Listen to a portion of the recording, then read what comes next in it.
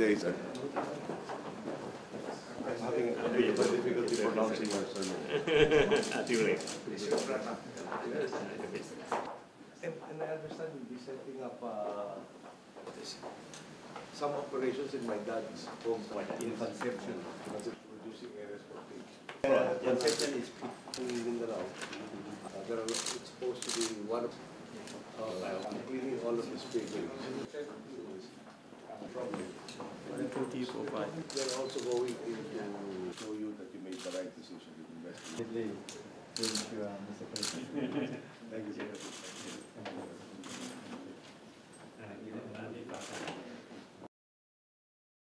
Uh, Because of our CP Group, we investing in Philippines uh, uh, since uh, 2007. So our business uh, investing in Philippines uh, concern for the shrimp production and also fish production. Especially for Philippines, I think for the uh, surrounding and uh, a lot of Iceland. So it's suitable to for the production of shrimp. Uh, shrimp production, I think, uh, can develop a lot in Philippines and can be export to the European and uh, USA country. Uh, like in Thailand, uh, our uh, our business, especially for shrimp, we also can export more than 3 billion US dollar uh, per year.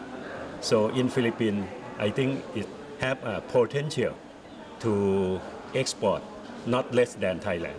So that's why we hope uh, to explain to the president to understand for the potential of the business and support our business uh, to invest in Philippines.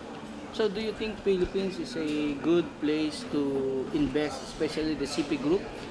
Yes, I think because uh, CP Group we invest uh, in Asian country, uh, e- mostly e- every country.